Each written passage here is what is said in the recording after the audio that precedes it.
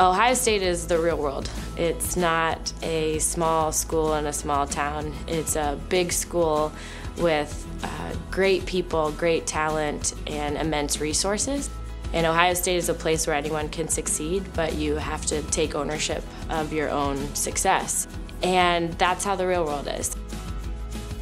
I had an internship uh, every year when I was in college.